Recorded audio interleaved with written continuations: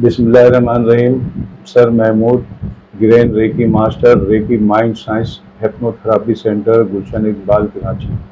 आज का मौजू ये है कि जो लोग कहते हैं कि भाई कल का वक्त कैसा आएगा किस तरह गुजरेगा, मुझे डर लगता है। जब उठता हूँ तो दिन बिल्कुल अजीब सा लगता है, जहन अच्छा सा लग, नहीं लगता, खौफ सा लगता है, पूरा दिन कैसे गुजरेगा, किससे मुलाकात होगी, क्या कहूँगा, क्या नहीं कहूँगा।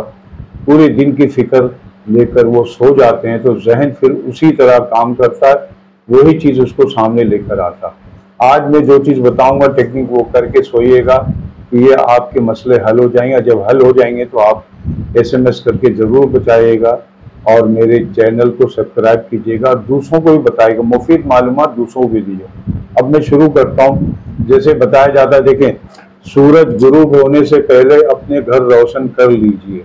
यानी शुरू सूरज गुरूब होने से पहले आप अपनी लाइटें वाइटें जला लेते हैं, रोशन हो गया। इसी तरह सूरज तुलू होने से पहले अपने जहन रोशन कर लीजिए। किस तरह करेंगे, मैं आपको बताऊँ। देखिए, कहने का मकसद ये है कि एक कागज़ लें आप, एक बड़ा सोने से पहले एक कागज़ लें। कागज़ में लिखें, कल आप किस तरह दिन चाहते हैं। दोनों करना है। जब कल सुबह जब मैं उठूँगी या उठूँगा तो हसाज बसाज होऊँगा, मेरा दिन बहुत आराम से गुजरेगा, सुकून से गुजरेगा।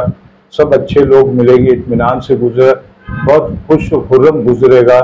और पूरा दिन अल्लाह का शुक्र अदा करूँगी, बहुत अच्छा गुजरेगा मेरा इनशाला इनशाला ये अल्फाज लिख के कागज़ में लिखना है, लिखने के बाद फिर इसको पढ़ना है।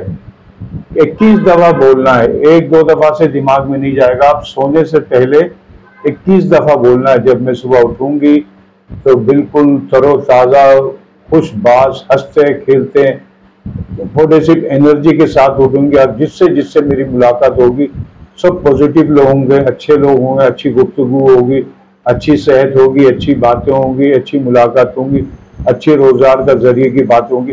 पूरा दिन आपका अच्छा गुजरे, लिखने के बाद आपने इक्कीस दफ़ा बोलना है। कागज़ में पहले लिखना है, लिखने के बाद इक्कीस दफ़ा बोलना है। बोलने के बाद वो कागज़ सिरहाने रख के सो जाना है। वो दिमाग में आपके सबकॉन्शियस में चला जाए। जब सोने लगे, जब पढ़ना है, पढ़ के दिमाग को एसएमएस करना, करने के बाद सिरहाने रख के सो जाना।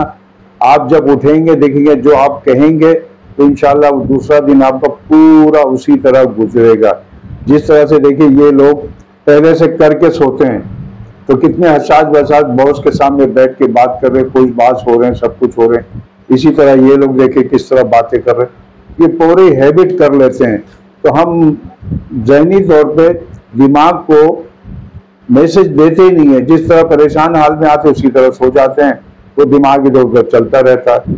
तो दिमाग को एसएमएस देना है, दिमाग को आपने परमिशन देना है, कह के सोना है।